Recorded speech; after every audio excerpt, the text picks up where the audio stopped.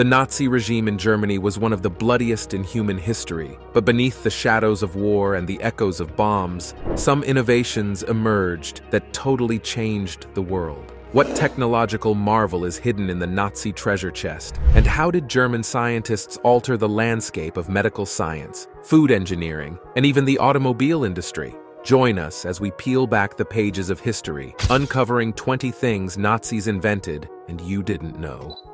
Number 20. Volkswagen Beetle. The Volkswagen Beetle is considered the best-selling car of all time but very few people are aware of its true origin. During his reign over Germany, Hitler dreamed of building a reliable car that the hard-working German families could afford. To further this vision, he met with car designer Ferdinand Porsche in 1935 to discuss the possibility of developing a car anyone and everyone could buy, which would also be easy to maintain and capable of traveling quickly on the Autobahn, which was springing up around Germany. This was the birth of the VW Beetle, a revolutionary car design that combined simplicity with practicality. It was known as the People's Car, a direct translation of the name Volkswagen, and it soon caught the attention of rival nations. This rear-engined, air-cooled car would later become a symbol of peace and love in the dawn of American hippie culture, straying far away from its troubled roots. Today, the Volkswagen company set up by the Nazi regime is currently the largest car company in the world, with several other car brands like Lamborghini, Audi, Bentley, and Porsche currently under their umbrella. Over the years, Volkswagen has gradually transformed its image from a propaganda machine built to boost the war effort to a reliable car manufacturer with roots in every country around the world. Number 19, Fanta. As the Second World War raged on, Germany was slammed with sanctions after sanctions, and this affected every single aspect of the economy. One of the American companies hit by the effects of these sanctions was Coca-Cola. By the time Hitler and the Third Reich marched into Austria, Coca-Cola had been producing its beloved soda for nearly a decade. But after Pearl Harbor, all American companies were forced to stop their business activities in Germany, and the Coca-Cola brand, which at this point was the most popular soda in Germany, were left to deal with the biting effects of the war. Supplies stopped coming from America to the German factories, and consequently they couldn't make Coca-Cola. So, Max Keith, the man in charge of the German division, decided to cook up a new kind of soda using anything and everything that was available. Working with his chemists, Keith put together a recipe made from leftovers of other food industries food shavings, apple fibers, and pulp, beet sugar, and a whole lot of other ingredients. What resulted was this concoction that came to be known as Fanta, although it's very different from the kind of Fanta we have today. The name was coined from the German word fantasy, because Keith instructed his team to use their imagination. Fanta eventually saved the Coca-Cola company in Germany from closing down, and after the war, the Nazi invention was slowly integrated into the mainstream Coca-Cola market around the world. Number 18. Nerve Agents the bloody days of the Second World War was a time of experimentation, when brilliant scientists combined their geniuses to create some of the deadliest weapons mankind has ever seen.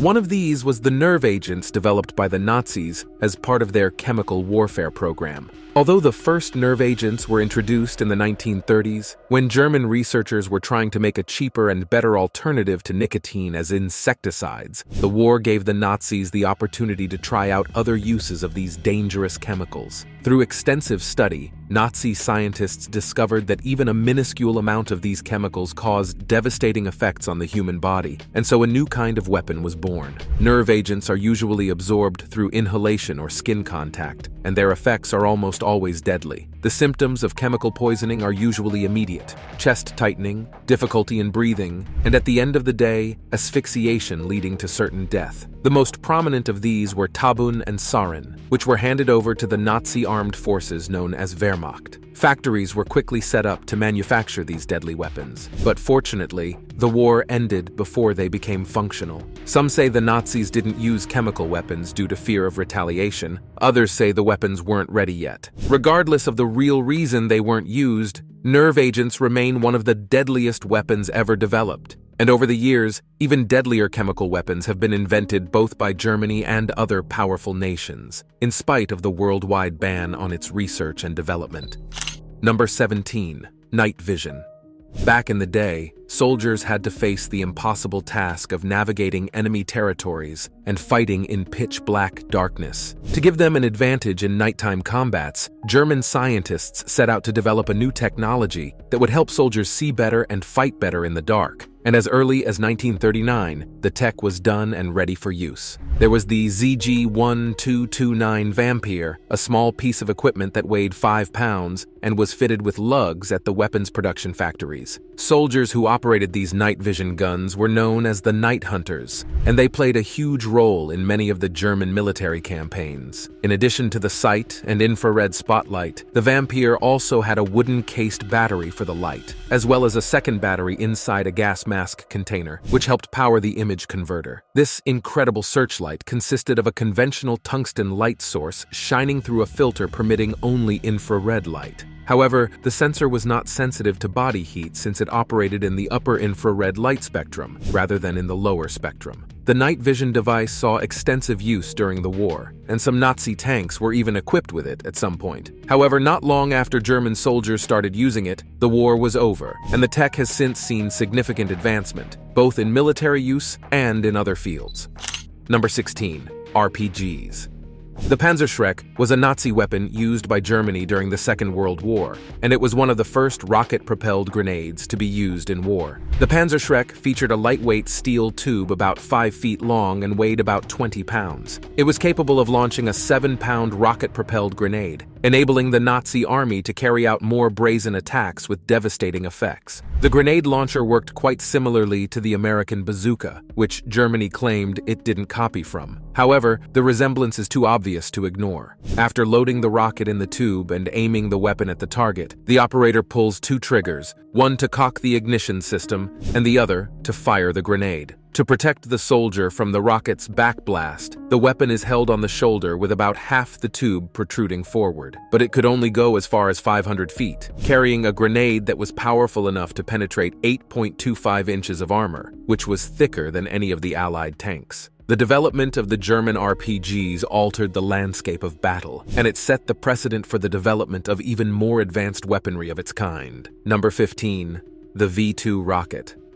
Although World War II was one of the bloodiest conflicts the world has ever seen, it also gave rise to a number of inventions that were developed for malicious purposes, but found use in other technological applications, like the V-2 rocket, a German ballistic missile that was developed to give Nazi Germany an edge over its adversaries. It was in 1936 when a group of scientists led by Wernher von Braun completed the development of this engineering marvel, and on October 3, 1942, the first V-2 rocket was successfully launched. It was the first long-range guided ballistic missile, and it changed the game in Germany's favor for a while. On September 6, 1944, the first V-2 was launched against Paris, and just two days later, Germany began the bombardment of Britain with over 1,100 V-2s, taking the lives of over 5,000 people. The V-2 missiles were about 47 feet long, and weighed between 28,000 and 29,000 pounds at launch, with a payload of up to 1,600 pounds.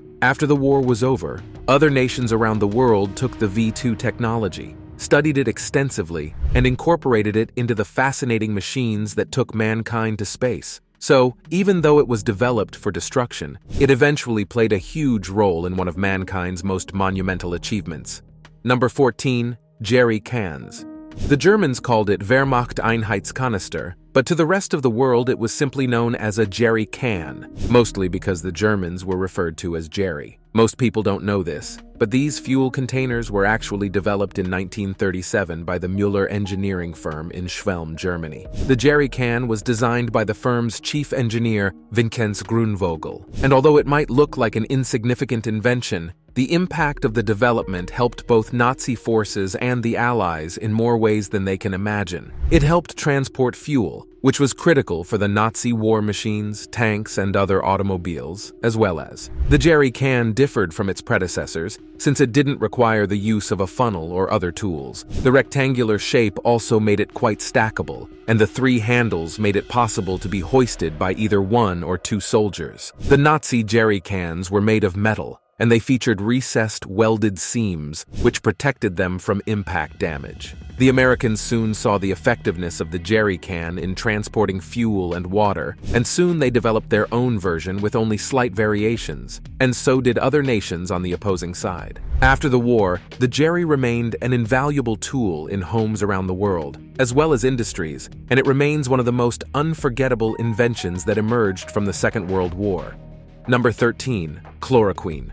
Chloroquine is a medication used to prevent and treat malaria, as well as other amoebiasis. However, did you know that this drug was developed by the Nazis in 1934? It all started after World War I, when the German government tried developing a new alternative to quinine, another medication that was used to treat malaria. It was discovered by a man named Hans Andersag and his co-workers at the Bayer's laboratory, and they named it Resochin. However, for the next decade, the drug was ignored as it was considered too toxic for human use. That would eventually change as the bitter days of World War II rolled in, prompting the German government to explore its use in treating its German Afrika Korps, who were suffering greatly from the effects of the malaria outbreak. An analog of the chloroquine known as Sontochin was developed for this purpose, and after the Allied forces took over Tunis, Sontochin fell into the hands of the American forces, who took it back to the United States for further testing. After confirming its significant anti-malarial properties, the U.S. government introduced chloroquine into clinical practice in 1947,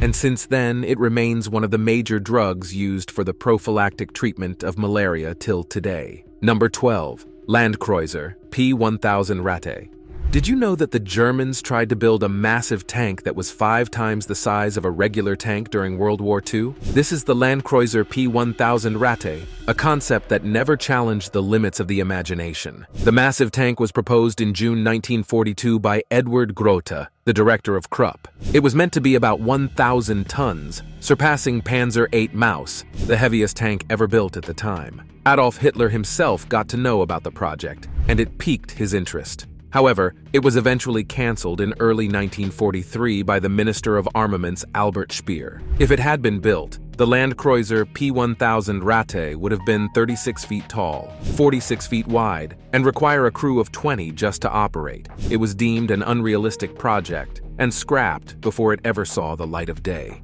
Number 11. 3D Filming Hitler invested a ton of money into his propaganda program, so it wasn't surprising to find out that his engineers pioneered works in the development of 3D filming. Surprisingly, Germany had already discovered this tech years before Hollywood began incorporating it into their productions. In a revelation released by the Australian filmmaker Philippe Mora, two Nazi propaganda films were recently discovered, which were shot in 3D way back in 1936. This was 16 years earlier than Hollywood's commercialization of the tech in 1953. Although 3D filming has increased in leaps and bounds since then and has infiltrated the media space from advertisements to infomercials and even blockbuster movies, its roots can be traced back to the dark days of Nazi Germany. Number 10. Borghild Project Nazi Adult Toy one major problem the Nazi regime had to deal with during the war was the constant stream of sexually transmitted diseases like syphilis, spread by the soldiers' contact with sex workers in their spare time. To combat this growing problem and safeguard the Nazi soldiers from temptations that might lead to deadly diseases, Hitler initiated an initiative known as the Borghild Project. The plan was to manufacture and distribute blow-up dolls that would serve as a more hygienic alternative to sex workers. This top-secret project was created in 1940 and was inspired by SS Chief Heinrich Himmler, who was the first to bring the syphilis situation to Hitler's attention. The life-size dolls were designed to be small enough to fit into a soldier's backpack, and, believe it or not, they even made it into production. However, turns out most of the soldiers weren't willing to go into battle with an adult toy out of fear of embarrassment if they were ever captured. Today, many people claim the story is a hoax, while others believe it actually happened, but since it was a top-secret operation, it's hard to verify whether it's true or not. Number 9. Z4 Computers the Z4 is the world's first commercial digital computer and the oldest programmable computer. It was developed by a civil engineer and computer scientist named Konrad Zuse, with funding from the German Air Ministry. His Z series of computers were some of the most incredible computers ever invented, and they set the stage for more advancements in computer technology. It all started with Zuse's vision of building a computer that could function as more than a calculating machine. The construction of the Z4 began in 1943, and the resulting computer used electromagnetic relays, and it was capable of solving engineering and mathematical problems that were too complex for the human mind. It also utilized the first real computer programming language known as the Plankalkül, or simply plain calculus, which made computer programming faster, easier, and more efficient. Number 8. Einheitsempfänger, the Nazi television. It was in August 1939 when this new invention was first introduced. They called it the Einheitsfernsehempfänger E1, which simply translates to TV receiver E1. Some also called it the Volksfernseher, or the People's TV. But even though it doesn't look like much today, this was a revolutionary invention back in the day, and it helped push Nazi propaganda to a whole new level. Although the television had been invented years before the Nazi regime began, the production of the Nazi version was a pivotal move in Germany, and it helped boost support for the war effort. The research for this project started in 1938, undertaken by the Reichspost and several companies, including Bosch, Blaupunkt, Loewe, Lorenz, and so on. The objective was to produce 10,000 units to be distributed to homes, offices, and military bases across Germany during the Second World War. However, by the time the war ended, only about 50 devices had been produced, and they were majorly installed in military hospitals and various government facilities. The TVs were tuned from the factory to broadcast Hitler's speeches, as well as Nazi propaganda, ensuring that the German government had the people on their side through widespread deception and lies that were further exacerbated by the invention of this television set. Technology has improved dramatically since then, but you can still find a few surviving and functioning units in museums across Germany, a testament to the technological advancement that emerged from the bloody times of World War II. Number 7. Volksempfänger, the People's Receiver. Similar to the People's TV was another invention produced with the same goal of spreading war propaganda, Volksempfänger or the People's Receiver. This lineup of cheap radio receivers was developed by a Nazi engineer named Otto Griesing at the request of Joseph Goebbels, the then Minister of Propaganda. The purpose was to make radio reception technology available to every household in Germany, so the message of hate and warmongering could be spread faster and more effectively. The first model of this radio was presented on August 18, 1933, and was available for the price of 76 Reichsmark which was about two weeks' average salary at the time. The radio receiver was heavily promoted, with posters encouraging the people to purchase so they directly accessed Hitler's constant addresses. Although this wasn't the first radio receiver to be invented, it became one of the first widespread examples of its usage, and thanks to its low cost, most households in Germany had one, although you could only listen to Nazi stations. Tuning into foreign media was a criminal offense in those days, and punishment ranged from confiscation of the radio to capital punishment. Number 6. World's First Fighter Jet. Meet the Messerschmitt Me-262 Schwalbe, also known as the world's first mass-produced fighter jet. The development of this revolutionary design can be traced back to Adolf Hitler himself and his desire to build a wonder weapon capable of bombing the Allies. The design phase started in April 1939, before the first shot of World War II was fired. On April 18, 1941, the ME-262 made its maiden flight with a piston engine, and over a year later, on July 18, 1942, it finally made its first jet-powered flight. This was a monumental moment in history, as it marked the beginning of a new era in military technology and aviation. At the time it was introduced, the ME-262 was faster, stronger, and more heavily armed than any Allied fighter, and it remains one of the most advanced combat aircraft built during the Second World War. It could also perform several functions, including working as a light bomber, a reconnaissance aircraft, and even an experimental night fighter. The Me-26. 2 altered the landscape of the war and gave the Germans an edge over the Allies. However, it was also plagued by reliability issues as well as its inability to carry a considerable amount of fuel. Over the years, fighter jets have become more advanced than you can imagine, with capabilities that will put the ME-262 to shame, however, its legacy remains etched in the fine prints of history, and many of the fascinating fighter jets of today find inspiration from this Nazi war machine. Now it's time for today's subscribers pick. The Second World War was one of the most brutal conflicts mankind has ever witnessed, causing the death of millions of people, both soldiers and civilians. However, this chapter in human history also saw significant advancements like the concoction of a new recipe we all know as Fanta. Like many of the products developed during the Second World War, Fanta was born out of necessity, and even though it's been many years since then, and it has become one of the most popular soda brands in the world, its history is still tied with the brutal regime of Adolf Hitler. It's a testament to how something good can come out of something horrible. Which of these inventions shocked you the most? Let us know in the comments down below. Now let's get back to the video. Number 5. The Intramedullary Rod.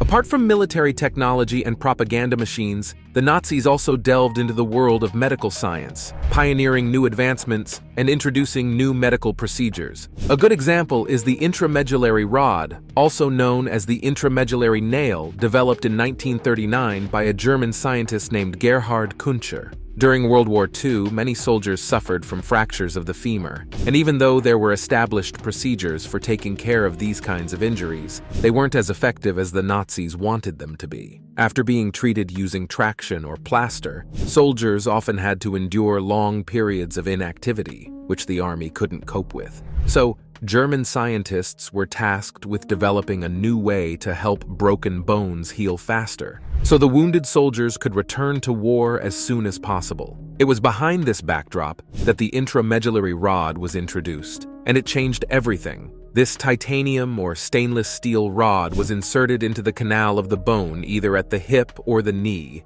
and then screwed in place to keep the broken bone in the proper position during the healing process. This way, soldiers could quickly return to war sometimes after just a few weeks. Not surprisingly, the usage of the IM rods expanded beyond the Second World War, and even today it remains a relatively useful tool in medical care.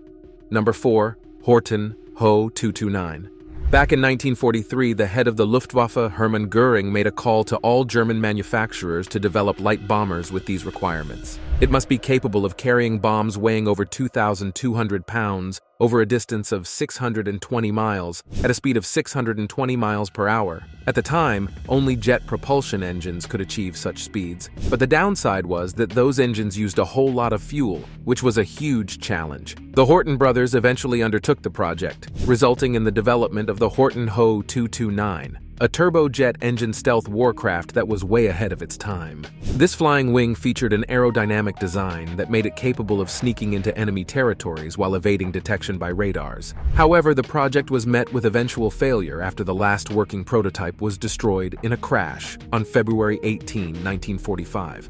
Although it never made it to mass production, the Nazis' stealth aircraft blazed the trail for other advanced stealth aircraft of its kind, and it remains one of the most advanced concepts to emerge from the dark ages of World War II. Number 3. The Enigma Machine. The Enigma machine was another incredible invention developed by Germany for delivering the most top secret messages. The original version of this remarkable piece of engineering was invented by a German engineer named Arthur Scherbius at the end of the First World War. As the Second World War rolled in, it became integrated into every aspect of the German military force as the most secure means of communication between troops and senior members of the government. Hitler and his scientists made several new advancements to this machine, making it harder to decrypt for the enemy forces. However, allied nations like Poland would eventually crack the Enigma's code, making it relatively useless in transmitting encrypted messages and intel. British cryptologists also worked extensively on understanding the machine, and they were able to decrypt a number of messages which turned the tides of war in their favor. In response to constantly being decrypted, Nazi Germany kept changing tactics and making necessary adjustments to the system to maintain its integrity. But this didn't stop the Allies from cracking the codes over and over, decrypting the Enigma cipher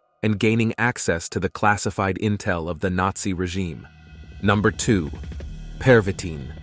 As Hitler waged his terrible war against some of the most powerful nations in the world, the Third Reich became more and more desperate, leading to some policies that would generally be frowned upon in our world today. One of those policies was the prescription of hard drugs to soldiers on the battlefield, so as to enhance their physical capabilities and reduce fatigue. Pervitin, an early form of methamphetamine, was one of those drugs widely used by Nazi soldiers, and you could even get it without a prescription. Considering how much the world has suffered from meth addiction since then, it makes us question why Hitler and his cohorts thought it was a good idea to drug the soldiers up, so they could keep fighting in a senseless war without sleeping, resting, or questioning anything they were being told. The use of Pervitin by the soldiers was actively encouraged during the later stages of the war, as the Nazi army became increasingly depleted, and they had to rely on stimulated soldiers to keep up the momentum. It increased their self-confidence, heightened their sense of alertness, and made them willing to take risks, while reducing the sensations of hunger, pain, and the need for sleep. The rest of the German population were not exempted from this drug epidemic that was sponsored by the government, and it exemplifies the depth of depravity that occurs in times of war and armed conflicts. Number 1.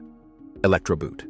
As the tides of war turned against Germany, they turned to the drawing board, crafting wonder weapons that could maybe help them salvage whatever was left. One of the products of such endeavors was the Electroboot, the first submarine to operate primarily submerged rather than being a surface vessel. Up until this time, most submarines of the day stayed on the surface for the most part, and were only submerged when they needed to attack. However, the Electroboot, also known as the Type Tixkiton U-boat, was capable of spending several days submerged, and it was such a marvel when it first came out. The submarine was also quite fast for the time, reaching a speed of 17 knots or 30 miles per hour. Also, Unlike other submersibles of the time, the electric U-boat could be charged at periscope depth without having to surface, further increasing its stealth capabilities, which made it stand out above the rest. It would eventually set the stage for the development of other submersibles of its kind, and today, it remains a source of inspiration in the design and development of underwater warfare machines.